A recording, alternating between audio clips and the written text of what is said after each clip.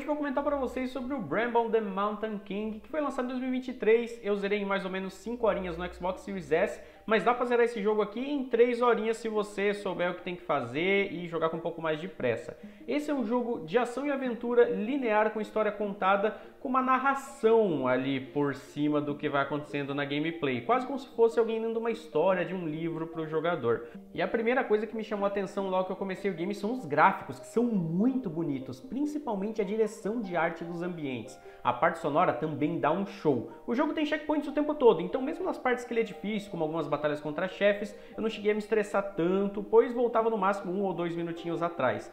A história do jogo é um dos seus melhores pontos, pois ela tem aquele jeito de fábula, daqueles ótimos filmes que a gente assistia antigamente na TV, com partes muito bonitas e calmas, relaxantes, e outras que é praticamente um jogo de terror. E isso se reflete nas fases também, que vão alternando entre trechos bonitinhos e gostosos de jogar e outros que você fica ali, cara, no seu limite, nervoso, para tentar descobrir o que tem que fazer o mais rápido possível, fugir de algum inimigo, então a ambientação fica até macabra. Eu tive alguns bugs que me prenderam no cenário, que não me deixavam interagir com alguma coisa que eu precisava, mas foram pontuais e foi só eu reiniciar um checkpoint anterior que resolveu, mas eu tive alguns bugzinhos no jogo. E algumas batalhas contra chefes deram um certo trabalho, porque tem que ficar muito ali na tentativa e erro até você descobrir o que fazer. Elas não deixam muito claras, ou às vezes até te enganam, tá? Tem algumas batalhas contra chefes que você, meu, jura que é para fazer tal coisa porque tá brilhando, tá destacado, mas na real não era para fazer aquilo naquele momento, era fazer de uma outra maneira. Então o jogo até tem umas pegadinhas, mas é muito legal, tá? Depois que você descobre, você se sente até inteligente, nossa, consegui resolver aqui como derrotar esse boss. É bem bacana. A parte, mesmo que o jogo tem um pouco mais de dificuldade, muita tentativa e erro, você acaba tendo aquela sensação de superação quando você consegue passar.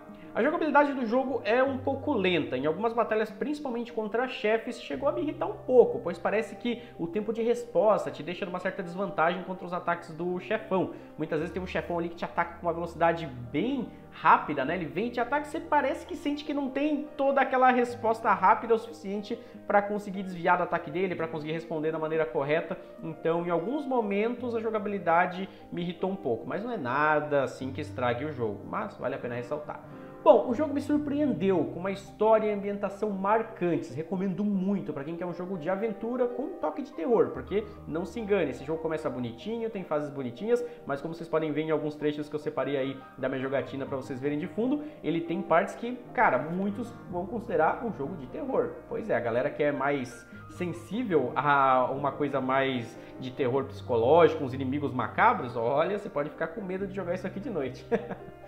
E por ele ser um jogo curto, como eu falei pra vocês, dá pra zerar em 3 horinhas. Eu levei umas 5 horas porque teve algumas batalhas contra chefes, algumas coisas de tentativa e erro ali, que eu fiquei um tempinho, sabe, tentando de novo, de novo, de novo, até conseguir passar. Teve umas partes também que eu quis explorar pra olhar bem o cenário. Teve momentos até que eu fiquei parado admirando o cenário, porque é muito bonito mesmo a direção de arte desse jogo aqui, dá um show, tá? Então eu acho que ele vale a pena só numa boa promoção, porque é um jogo muito curto e que não te dá praticamente nenhum incentivo para você zerar ele mais vezes. Tá, você pode zerar mais uma vez para tentar pegar umas conquistas, troféus que você perdeu, mas ainda assim o jogo é tão curto que se você zerar duas vezes dá que 6, 7 horinhas, porque na segunda vez que você for zerar vai ser até mais rápido, né? Que você já sabe tudo que tem que fazer. Então é um jogo muito bom, me marcou muito, eu recomendo, mas pela duração dele ser extremamente curta, tem que pegar uma boa promoção.